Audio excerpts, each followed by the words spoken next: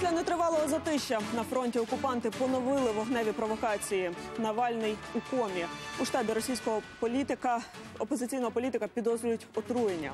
Карантин хасидам не завада чи святкуватимуть цьогоріч юдейський новий рік в Умані.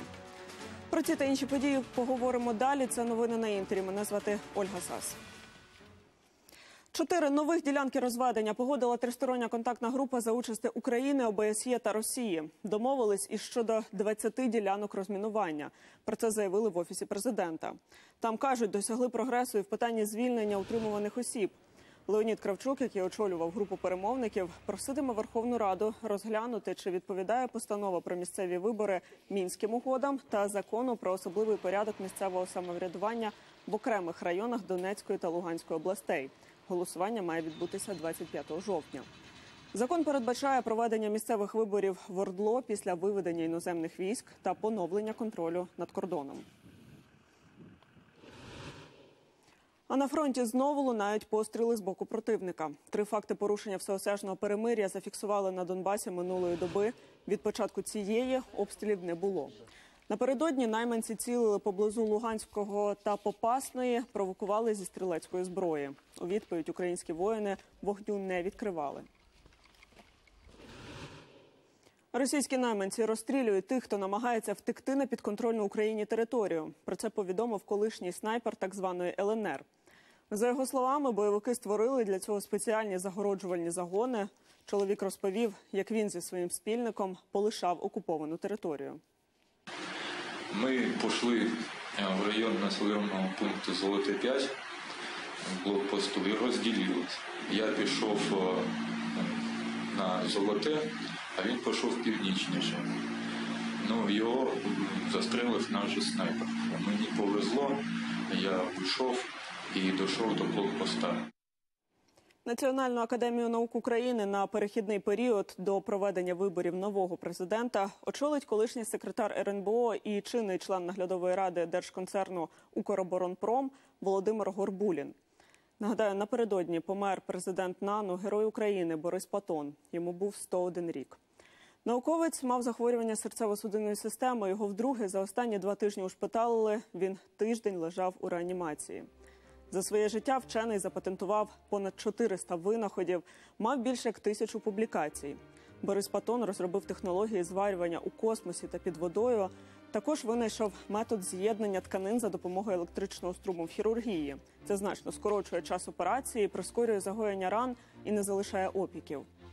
Національну академію наук України Борис Патон очолював із 1962 року і був одним із найстарших академіків у світі. Прем'єр-міністр вже дав доручення про створення державної комісії з поховань. Хоронитимуть академіка, очевидно, на байковому кладовищі, де покоїться його батько, мати і дочка. Російського опозиціонера Олексія Навального у важкому стані доправили до реанімації. За останньою інформацією, Навальний підключений до апарату штучної вентиляції легень та перебуває в комі. Біля палати чергують правоохоронці. Прес-секретарка політика Кіра Ярмаш підозрює, що його отруїли. У своєму твіттері вона повідомила, що Навальному стало зле в літаку на рейсі з Томська до Москви. Один з пасажирів виклав у соцмережі відео про події на облавку. Борт здійснив екстрену посадку в Омську. На відео від іншого пасажира вже видно, як непритомного Навального везуть до карети швидкої допомоги. У штабі політика кажуть, що отруту наймовірніше підсипали в чай у кав'ярні в аеропорту. Попередній діагноз медиків гостре отруєння невстановленим психодислептиком. Це токсин, що викликає галюцинації та вводить у змінені стани свідомості. Втім, після приїзду до закладу правоохоронців лікарі почали затягувати із повідомленням результатів аналізів опозиціонера. Ухильна реакція лікарів тільки підтверджує, що це отруєння. Ще дві години тому вони були готові поділитися будь-якою інформацією, а тепер явно тягнуть час і не кажуть, що їм відомо. У реанімації повно поліцейських вони намагаються взяти у лікаря пояснення. Лікар побачив мене у відділенні у коридорі, сказав, що деякі речі конфіденційні, і вивів поліцейських в іншу кімнату. Ситуація в Білорусі тема переговорів Еммануеля Макрона та Ангели Меркель. Сьогодні канцлерка Німеччини зустрінеться з французьким президентом у його літній резиденції поблизу Тулона. Про це повідомили в прес-службі уряду Німеччини. Напередодні Меркель і Макрон взяли участь в екстреному саміті лідерів Євросоюзу щодо Білорусі. Домовилися про санкції, а також було оголошено про невизнання результатів виборів президента країни. Литва заборонила Олександру Лукашенку в'їзд на свою територію. Про це інформує Делфі з посиланням на міністра закордонних справ Лінаса Лінкявічуса. Крім білоруського президента, під санкції потрапив ще 31 чиновник. За словами голови відомства, йдеться про найвищі чини ОМОНу, КДБ і Центральної виборчої комісії. Список уже передали на затвердження у Міністерство внутрішніх справ Литви. Інавгурація Олександра Лукашенка має відбутися у найближчі два місяці. Про це повідомляє білоруський центр виборчком. Втім, точну дату церемонії у ЦВК країни назвати не готові. Протести не вщухають вже понад тиждень. Мітингувальники звинувачують владу у фальсифікації виборів. Від початку акції щонайменше 250 демонстрантів опинилися у лікарнях після жорстокого побиття силовиками, і більше як півсотні зникли безвісти. Олександр Лукашенко призначив новий уряд зі старими обличчями. Його очолить Роман Головченко. Погодити призначення високопосадовця має ще палата представників національних зборів. Крім прем'єра, зберегли посади і ключові члени попереднього уряду, зокрема міністр внутрішніх та закордонних справ і міністр охорони здоров'я. А на українсько-білоруському кордоні побільшало білорусів, які їдуть до України. Про це розповідають прикордонники. З якими настроями і чому прямують до нас, розповість Ігор Левинок. Він побував на одному із пунктів пропуску.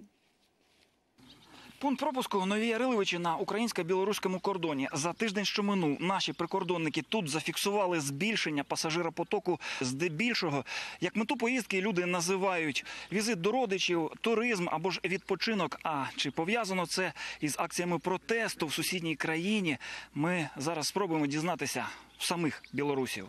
Ужас происходит, одним словом. Станіслав з білоруського Гомеля вперше їде до України відпочивати на море в Одеську область. Каже, подалі від того, що зараз коїться на його батьківщині. Мені здається, по-моєму страшніше там находиться, чем на Украине. Прикордонники кажуть, потік білорусів до України збільшився на третину. Після президентських виборів у сусідній республіці щодня кордон з Україною перетинає понад дві тисячі осіб. І це тільки на ділянці, яку контролює Чернігівський прикордонний загін. На даний момент ми забезпечили достатню кількість сил і засобів, аби забезпечити надійну охорону державного кордону. Білоруси, які прямують до України, про політику переважно воліють не говорити. Та єдине, в чому твердо переконані, жодної загрози з боку українців нема. Отношение людей нормальное, понимаете, там по телевизору могут всякое показывать. А так приезжаешь, народ нормальный-то в целом-то. Все хочуть просто нормально жити, працювати. Анастасія з Мінська їде на Чернігівщину до родичів. Протести, які відбуваються нині в столиці Білорусі, підтримує втручання руки заходу, про яке розповідає Олександр Лукашенко. Дівчина там не бачила. Это обычные белорусы, студенты, мужчины, женщины, пенсионеры, обычные люди. Білоруси, які повертаються на батьківщину, діляться враженнями про Україну. Чимало сябрів їздять до Чернігова на закупи. А що ви там приобрели собі? Велозапчасть. А в Білорусі? В Беларуси такого не упускают. В Украине, да, нам, нам нравится все, что происходит в Украине, где э, уважаются права всех э, людей, как говорится, все гражданское общество функционирует. З Чернігівщини Ігор Левинок, Богдан Савруцький. Новини, телеканал Інтер. Показник інфікування коронавірусом в Україні вперше перевищив 2 тисячі. За добу ковід виявили у 2134 людей. Найбільше випадків на Харківщині. Далі слідують Львівщина та Київ. Повідомили в Мінохорони здоров'я. За даними відомства, 40 людей померло, і це найбільше від початку пандемії. У світі на коронавірус захворіли вже 22,5 мільйони людей. З них понад дві третини видужали.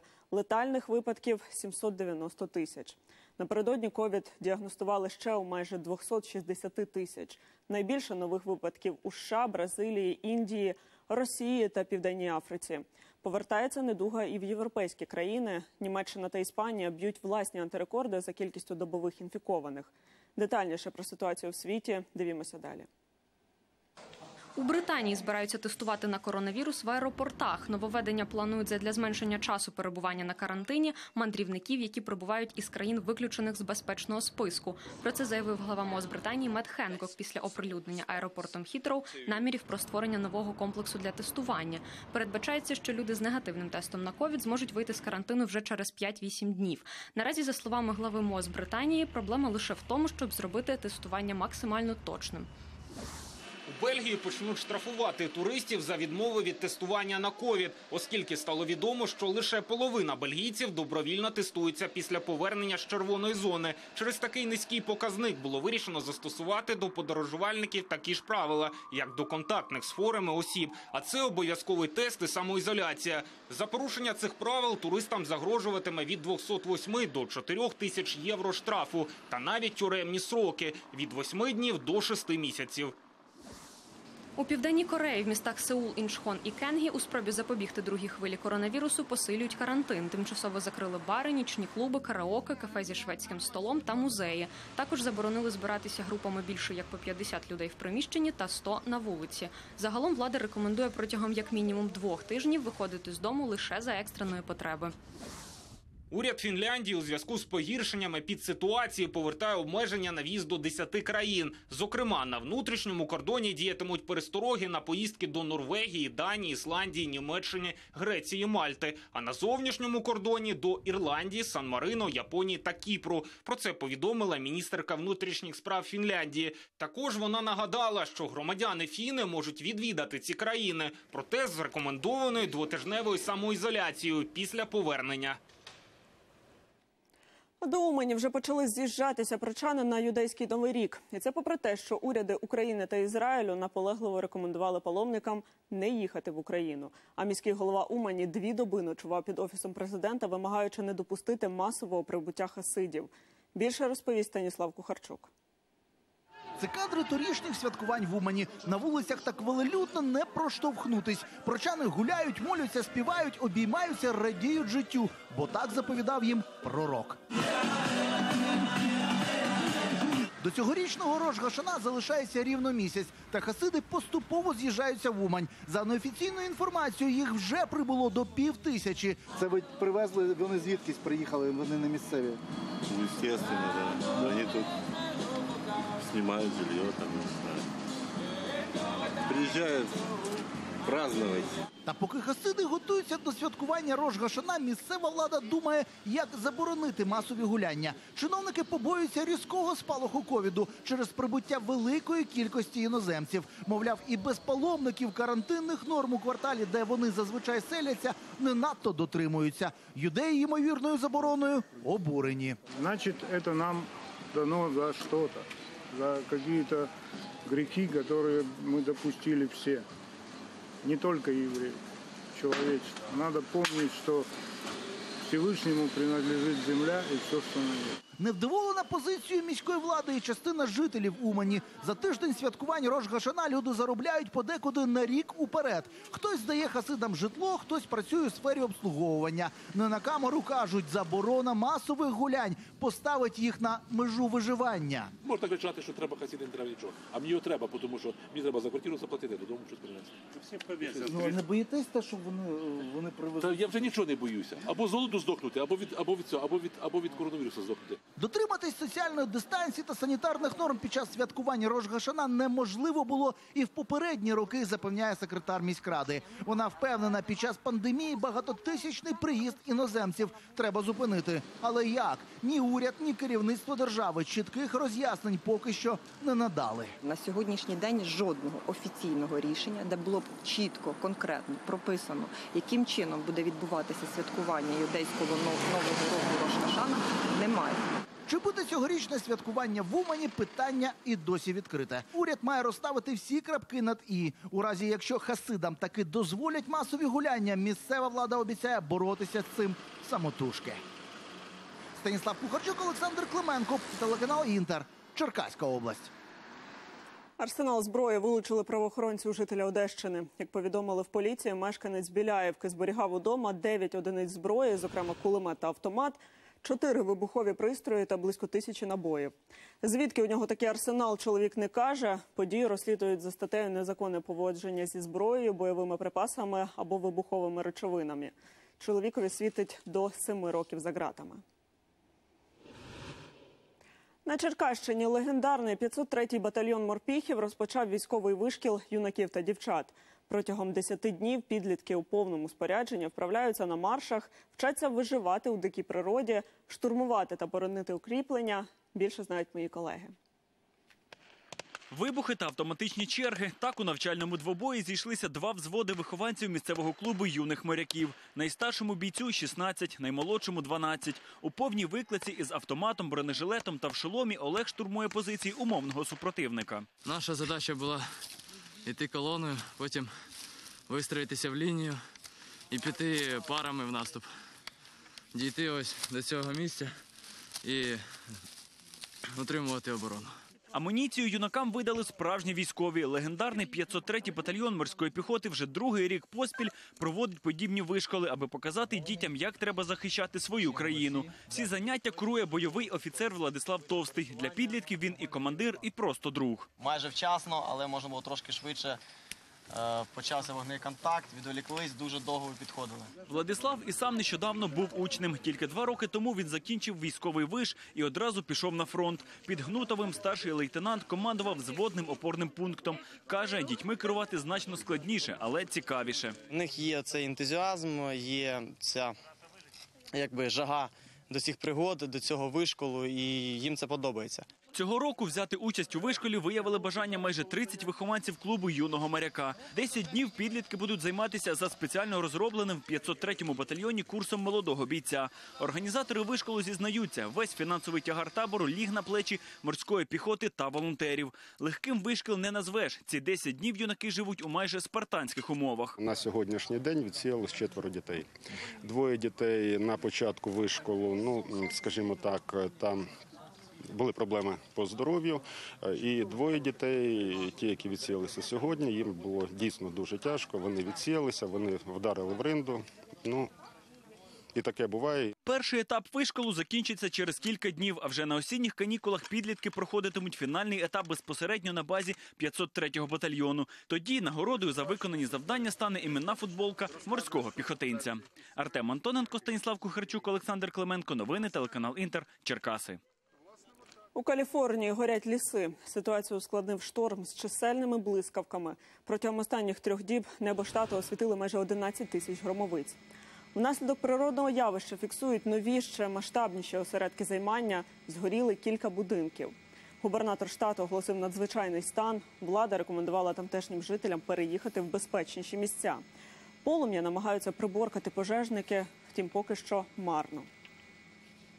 Каліфорнія вже давно не бачила такого масштабного полум'я. Нині нараховують 367 активних займань. Я запросив допомогу у сусідніх штатів, а саме 375 пожежних машин, а також за можливості надати людський ресурс. Ситуацію погіршують численні громовиці та суха погода.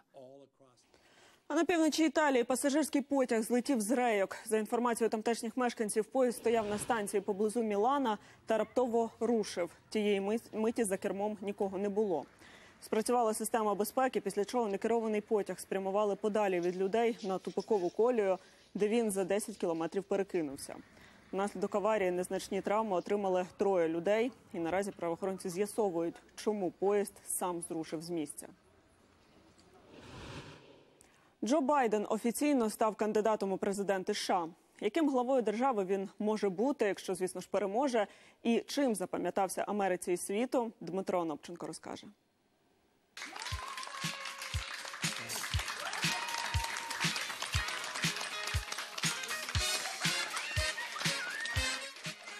Більше трьох із половиною тисяч голосів за. І Джо Байдена на першому в історії віртуальному з'їзді затверджують кандидатом у президенти. Команда радників дістає конфеті, активісти аплодують, сидячи вдома біля своїх ноутбуків.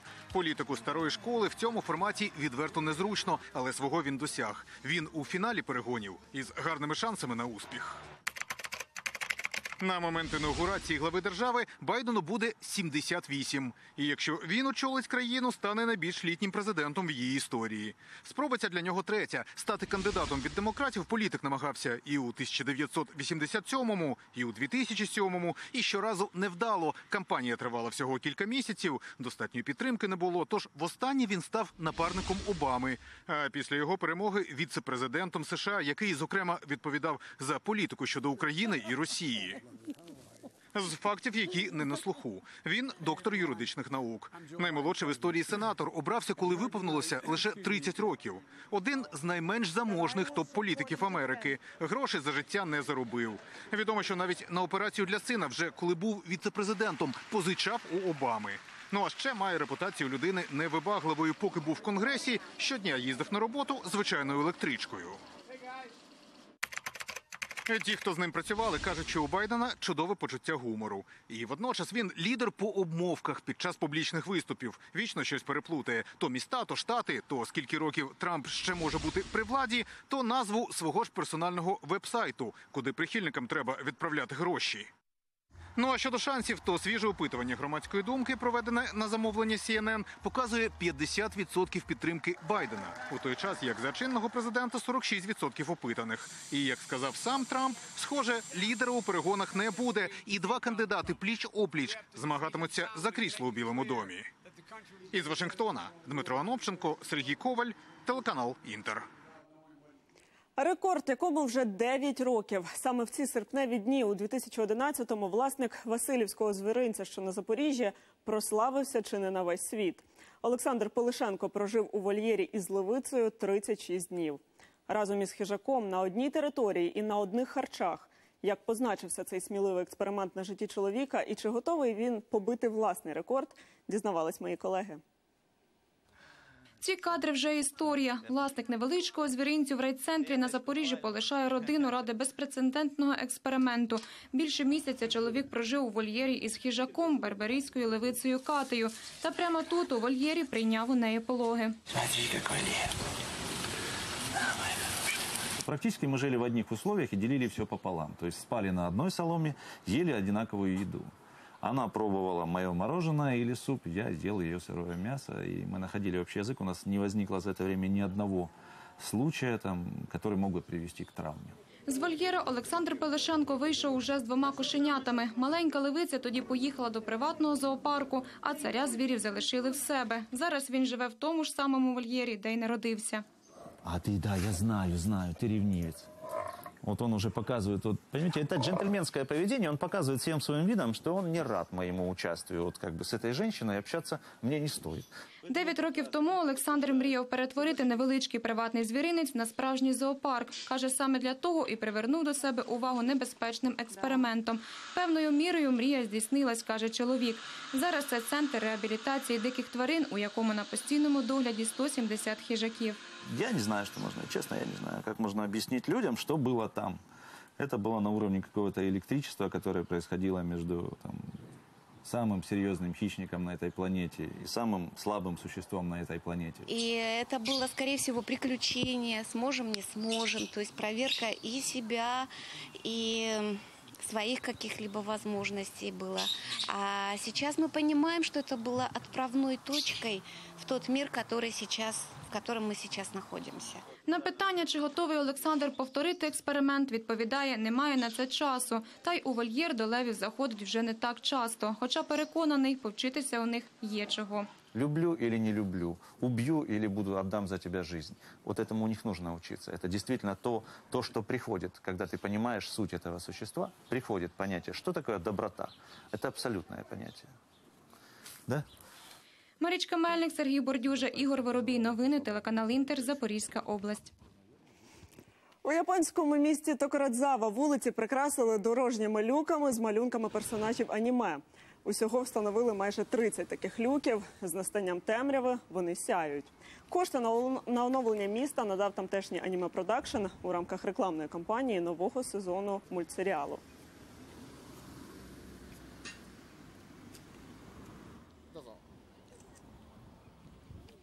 Ось такі сьогодні новини. Наступний випуск з Олексієм Фадієвим буде о 17.40. А я вам бажаю плідного дня, гарного настрою і дякую за цей ранок. До зустрічі завтра.